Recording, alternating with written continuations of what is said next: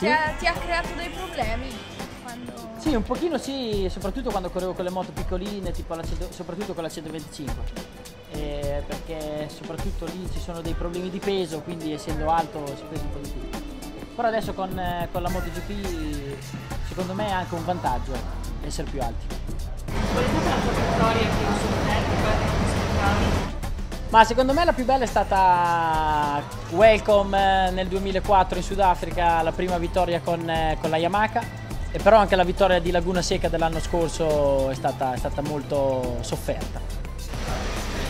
Quanti mondiali vincerai ancora e soprattutto batterai di vittorie di Agostini? Non lo so, spero di vincere qualche altro mondiale e un po' di altre gare, però boh, battere il record di Agostini delle vittorie non sarà facile perché ne mancano ancora una ventina e quindi sarà duro, però ci provo.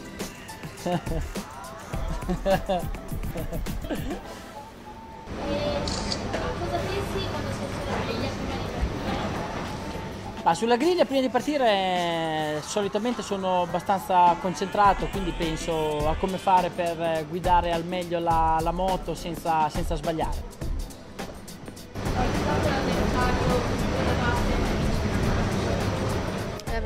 Ne, ne ho avuti tanti difficili da battere, da Capirossi a Biagi a Gibernau, Stoner, Lorenzo. Difficile dire chi è stato il più, più duro. Di che colore era la tua prima moto? E te la conservi ancora?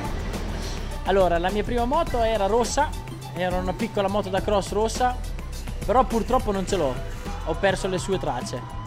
E ho delle mini moto, quando, quando ero piccolino che correvo con le mini moto, una mini moto nera molto bella, però la prima prima moto purtroppo non ce l'ho. La tua prima, eh, la tua prima moto, che, eh, che numero avevi? Non mi ricordo, ma penso il 6. C'era il numero 6 sulla moto, però non lo so perché, è stato un caso. eh.